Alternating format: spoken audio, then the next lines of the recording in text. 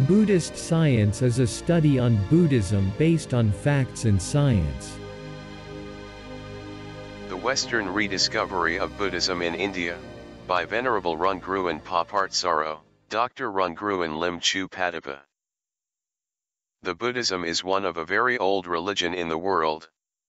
It is about 543 years older than the Christianity and 1142 years before the Islam. About 300 years after the Buddhism establishment, during the period of the Emperor Asoka who ruled the whole Indian subcontinent. The Buddhism spread all over the ancient world. The Buddha worded about the importance of studying in Buddhism as follows.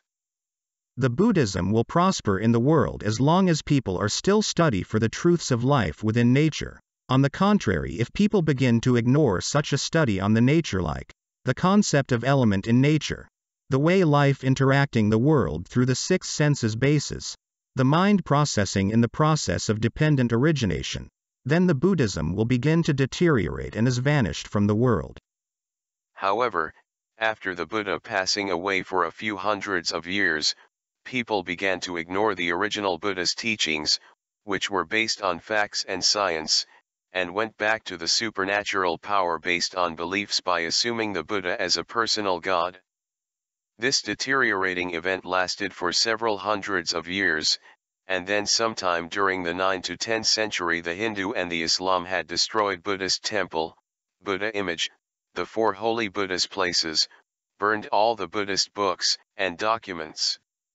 In order to survive their lives from the aggressive invasions, many Buddhists had to convert themselves to be either Hindu or Islam, otherwise they had to migrate away from the homeland, and the Buddhism was completely demolished from the Indian subcontinent, even Indian people have already completely forgotten about the Buddha and Buddhism in their history, the Buddhism had been destroyed from India. The Buddhism had been completely forgotten and ignored in India. It is the loss of Buddhism from the Indian subcontinent. The Buddhism is an ideology of the study on the truths of life within nature, not about a worship to a particular person or God. The Buddha encouraged people to study on the truths of life within nature, in the Buddha time no one was born as a Buddhist, but a person must go through an intention to study on the truths in nature first, then becoming a Buddhist. And this is the reason why in the original Buddhism there is no need to convert anyone to be a Buddhist, but sharing a knowledge of the truths of life within nature to all people. After the Buddhism was destroyed from India, then in the 18th century when the British colonized most of the Indian subcontinent under the British government, two young British people, Mr. Alexander Cunningham and Mr. James Prinsep, arrived at India, they met together and fortunately shared some discussion about some strange scripts about the Buddhism in ancient coins found from the northwestern region of India. The Buddhist symbol in the coin was an evidence that in the ancient time of India, there was a Buddhism civilization before. Although there was nothing mentioned about the Buddhism at that time yet, but it was the beginning of a great long journey searching for the lost Buddhism civilization through places of the locations as mentioned in the old Buddhist narrations. Through this simple but exciting idea, the two young Englishmen started an amazing journey with dedications of their lives for the exploration and the discovery of Buddhism in India of which no one in Indian had ever dreamed before. And it was Sir Alexander Cunningham who later discovered an old civilization of India, the glory Buddhist period of India, that no one had ever known before. Sir Alexander Cunningham used testimony and travel accounts of Chinese pilgrims, Faxian and Xuanzang to determine the locations of many of the famous Buddhist sacred places in India, starting in 1835 by unraveling the Dhamek Stupa at Sarnath where the Buddha attained his enlightenment, 1851 the Sanchi Stupa, 1854 publishing the Bhilsa Topes to establish the history of Buddhism based on architecture and archaeology evidences, 1861 re-excavating the Bodh Gaya, and during 1862 to 1863 identifying many ancient cities during the Buddha period. After the discovery of the Buddhism by the West, the Buddhism and the Buddhist teachings are well known to the Western scholars by a great works of Thomas William Rhys Davids the founder of the Pali Text Society of London, doing the English translation from the original Buddhist Pali text. During the early period of the Buddhism to the West, although the Buddhism as an Eastern culture, and the Buddha story was beautifully narrated to the West by Sir Edwin Arnold in The Light of Asia. The Buddhism introduced the ancient scientific approach in searching for the truths of life within nature and then by using this knowledge to eliminate all mental errors, and to resolve all the man-made disasters in the world. The rediscovery of the Buddhism by the West is very important because it paves a foundation for the developments of the modern psychology, the neuroscience, and the cognitive science nowadays. The story of Sir Alexander Cunningham, from Britannica. Sir Alexander Cunningham, 1814-1893, London, British Army officer and archaeologist who excavated many sites in India, including Sarnath and Sanchi, and served as the first director of the Indian Archaeological Survey. At age 19 he joined the Bengal Engineers and spent 28 years in the British service in India, retiring as Major General in 1861. Early in his career he met James Prinsep, a British numismatist and Indian scholar, who ignited his interest in Indian history and coins. In 1837 Cunningham excavated at Sarnath, outside Varanasi, Benares, one of the most sacred Buddhist shrines, and carefully prepared drawings of the sculptures. In 1850 he excavated Sanchi, site of some of the oldest surviving buildings in India.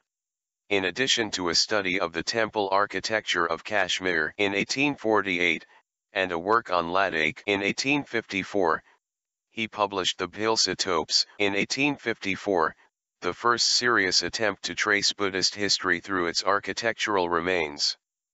In 1861 he agreed to become director of the Indian Archaeological Survey, and remained with it until it was dissolved in 1865. He resumed his post when the survey was restored in 1870, and during the next 15 years carried out many archaeological explorations among the ruins of northern India. He published The Ancient Geography of India in 1871, the first collection of the edicts of the 3rd century BC Indian Emperor Asoka, and the Stupa of Bharhut in 1879. Over the years he gathered a large collection of Indian coins, the choicest of which were purchased by the British Museum. After his retirement from the survey in 1885, he devoted himself to Indian numismatics and wrote two books on the subject. He was knighted in 1887. The story of James Prinsep, modified from Britannica. James Prinsep, 1799-1840, antiquary and colonial administrator in India, the first European scholar to decipher the edicts of the ancient Indian Emperor Ashoka. Prinsep was appointed to the Calcutta Mint in 1819. In 1830, Prinsep was transferred back to the Calcutta Mint, where his boss, Wilson, had been puzzling over different coins found in Rajasthan and Punjab. Prinsep offered to catalogue these coins, which in turn aroused his interest in the indecipherable inscriptions found on them. The same year, Prinsep also became the founding editor of the Journal of the Asiatic Society published by the Asiatic Society of Bengal. Around 1833 CE, the remains of a pillar very similar to one found at Feroz Shah Kotla in Delhi, were found in the Allahabad fort. Prinsep later noted in his diary, I could not see the highly curious column lying at Allahabad, falling to rapid decay, without wishing to preserve a complete copy of its several inscriptions. With the help of a Sanskrit expert, Prinsep managed to decipher a part of the inscription, which spoke of conquests of a king named Samudragupta. But he could not connect with another ruler, Chandragupta Maurya, who had appeared in Buddhist texts and as Sandrokottos in Greek texts. He became as a Say master in 1832, leaving in 1838 for England because of ill health. As secretary of the Asiatic Society of Bengal from 1832, he had access to and developed the study of the largest collection of Indian coins then existing. Trained as an architect, Prinsep assumed responsibility for architectural projects, chiefly at Benares. He introduced a uniform coinage and reformed the Indian system of weights and measures while at Calcutta. The story of Thomas William Rhys Davids, from the Pali Text Society. Thomas William Rhys Davids, 1843 to 1922, as born in Colchester, the eldest son of a Welsh congregational minister who was affectionately referred to as the Bishop of Essex.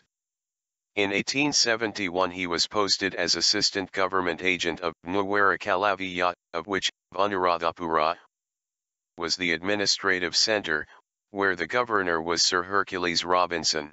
Robinson founded the Archaeological Commission in 1868. Rhys Davids became involved with the excavation of the ancient Sinhalese city of Anuradhapura, which had been abandoned after an invasion in 993. He began to collect inscriptions and manuscripts, and from the period 1870 to 1872 he wrote a series of articles for the Ceylon branch of the Royal Asiatic Society Journal about them. During this time Rhys Davids learned the local language and spent time with the people of the area. From 1882 to 1904, Rhys Davids was Professor of Pali at the University of London, a post which carried no fixed salary other than lecture fees. In 1905 he took up the chair of comparative religion at the University of Manchester. Davids attempted various methods to promote Theravada Buddhism, considered as an early Buddhism, and Pali scholarship in England.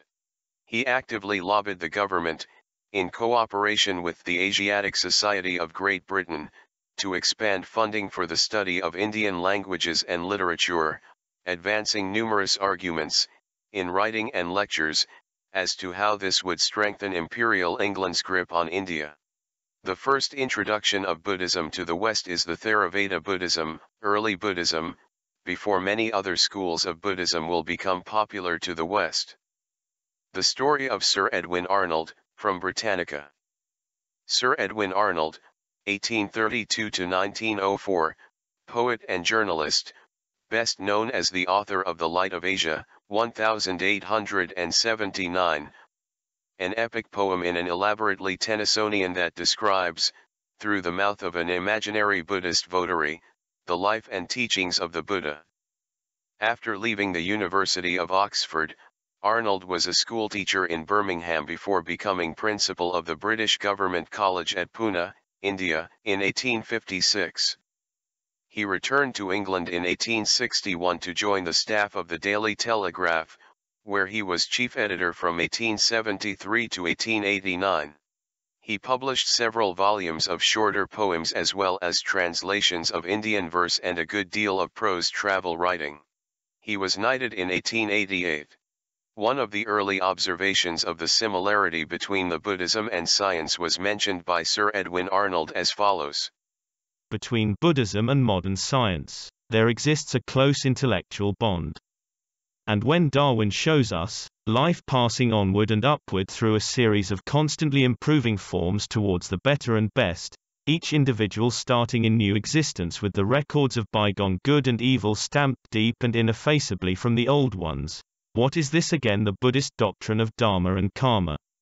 Finally, if we gather up all the results of modern research and look away from the best literature to the largest discovery in physics and the latest world in biology, what is the conclusion, the high and joyous conclusion, forced upon the mind, except that which renders true Buddhism so glad and hopeful?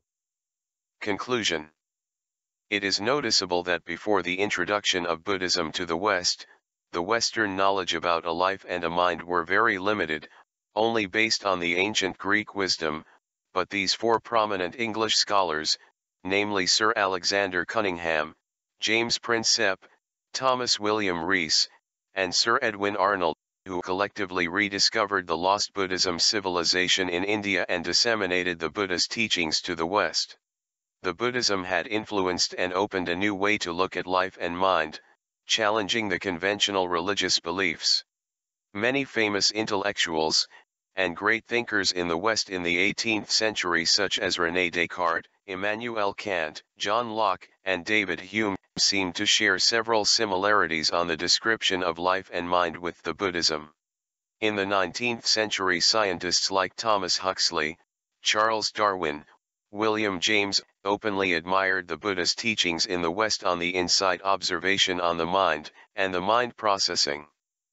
Many scientists in the 20th century had a high expectation on the convergence of Buddhism and science, and at present in the 21st many more scientific discoveries fully support the Buddha's teachings and are amazed with the advanced insight knowledge of Buddhism in searching for the truths of life within nature.